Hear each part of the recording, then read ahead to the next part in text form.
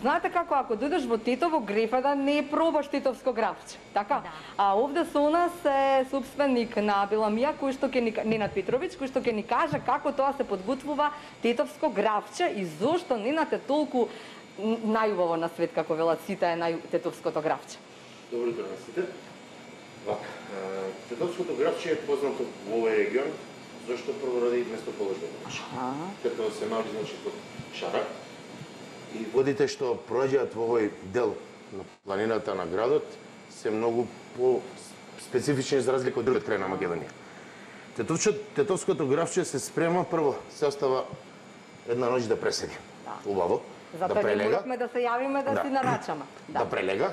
Добро. Значи графчето е оставено од вчера да прелега во вода. Добро. Денеска се вари од савајле.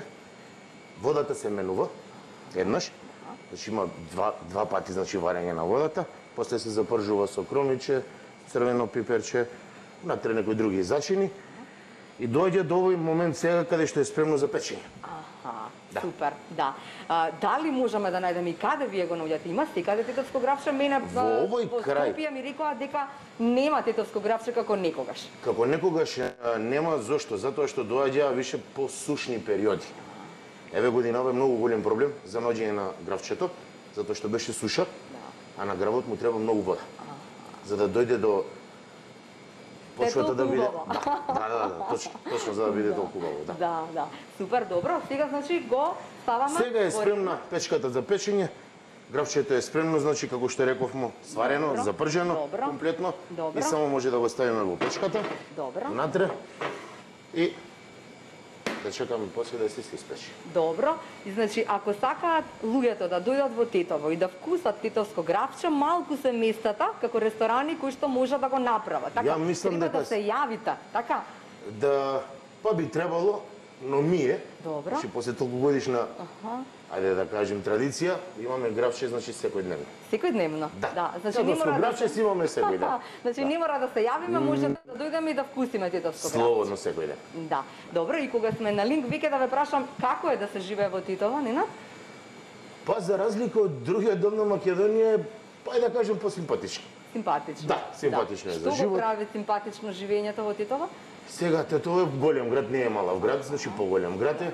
Има кај да се излезе каде, но а, разликата од другиот другиот дел на Македонија што мислим дека температурите се малку пониски овдека кај нас. аха, И малку е посвежо за во лето.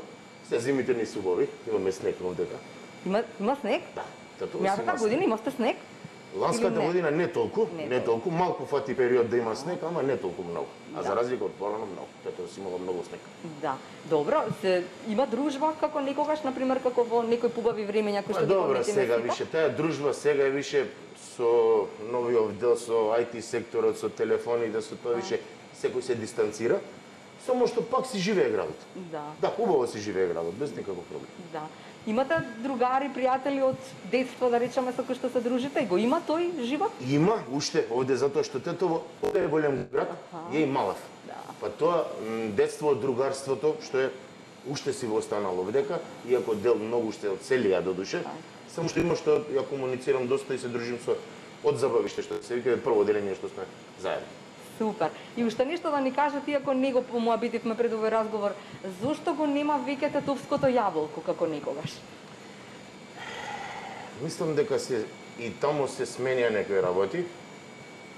Ресенското мислам дека сега е више помалку поише дој- дојдено до Дојде до израз, аха. Да, до израз. Водата исто е голем проблем, ја мислим и за тетовското јаболко овде што сушата Да. се прави промени многу. Да, Гавро ни кажа во после, нели, после линкот ни кажа дека веројатно и треба, нели, секоја втора година а, јаболкото За раѓа. јаболкото така? треба втора година, Да, точно. да, е сега, ако ова е била сушна, Така. предходната, Да. ова е би требало нешто да биде, ама ако е сушна, што реков проблеми за јаболкото. Не е више тоа тетовско јаболко што било некогаш. Се е сменато у држава, у светот, па ја мислам и тоа. Така, Малку дел причина него. така. Вие немате намера да заминувате од Титово, останувате овде? Сега за сега не. Да. Да, сега за Вашите сега не. деца, имате деца, не прашам? Имам деца, имам да. черкичка, 16 годишна, овде се учи школа економско. Сега за сега немам пот, немам намера. Нема Не потреба да се размислувал, заминува. Не сте за размислувале, да. Убаво е. Па, зашто да не? Да. Како рече не? Гавро, каменот најмногу тежи на, на своето. Е, на своето не може да тееш, тоа е точно, тоа е точно. Точно, точно, точно, точно. Нинат ви благодарам, само да ги слушнеме од студио, дали ви се допаѓа овој поглед на тетовско гравче? Не само што ни тоа се допаѓа кате, туку почнавме веќе да ја да, чувствуваме миризбата, поточно да ја замислуваме миризбата, но ти си таму на лице место, така што и го чувствуваш тоа, но веројатно и ќе го вкусиш и ќе очекуваме да ни ги пренесеш импресиите од тетовското гравче. И да се разбереме, најтешка формула за да се направи тавче гравче, апсолутно ден денес јас имам проблем. Среќа што моите родители се тука па ми асистираат околу сето тоа. Она во дестото нели кога ќе се извади првата вода и така натаму за да немаме гасови, Да. нели нормално, тоа е природно научно кажано. Така што тавче гравче е наистина тешка формула, така што ова што ни го споделивте денес на вистина беше одлична можност да погледнеме особено тетовското гравче. Така е, ние остануваме секако со наум во Титово.